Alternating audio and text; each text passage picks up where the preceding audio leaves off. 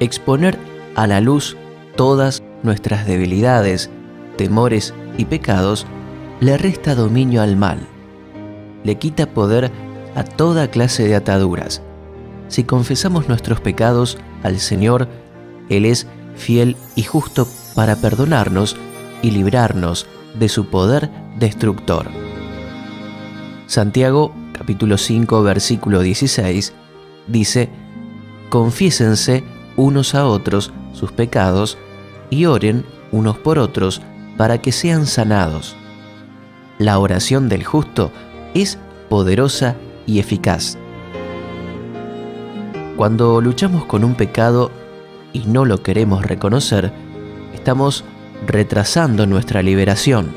Es como tener una pared perfectamente arreglada y adornada, pero con una mancha de humedad tapada con un lindo cuadro. Esa mancha se puede llenar de hongos y extender hasta arruinar toda la pared. Para limpiar la mancha, lo primero es reconocer que está allí. Lo segundo es quitar todo lo que usamos para taparla y finalmente debemos repararla. Cuando alguien no es capaz de reconocer su pecado ante Dios y no pide ayuda, no puede ser sano ni libre. Si practicas un pecado, reconoce que lo tienes, confiésalo todo a Dios, pide ser limpio con la sangre de Cristo. Acepta que necesitas apoyo y busca personas de tu confianza que te puedan ayudar. No necesitamos explicar ni fundamentar los pecados, necesitamos confesarlos y arrepentirnos. En primera de Juan 1.9 dice, si confesamos nuestros pecados, Dios, que es fiel y justo, nos los perdonará y nos limpiará de toda maldad. Hagamos juntos esta oración. Señor, reconozco que soy débil y que debo confesarte todo pecado. Abro mi corazón para que me ayudes a ver y sanar todo lo que me es oculto. Límpiame ahora de toda desobediencia, en el nombre de Jesús. Amén. Gracias por compartir este tiempo con nosotros. Te saludamos desde avanzapormás.com. Estamos para bendecirte.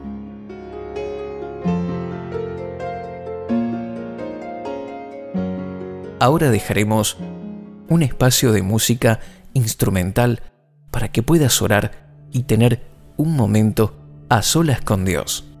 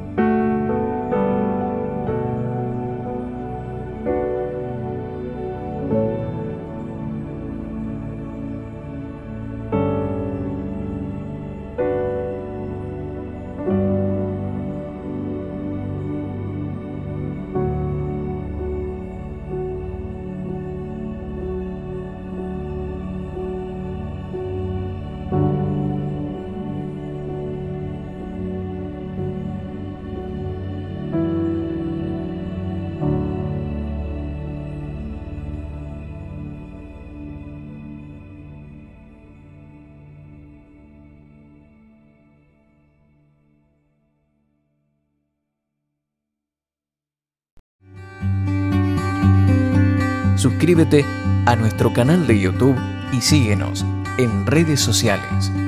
avanzapormás.com. Estamos para bendecirte.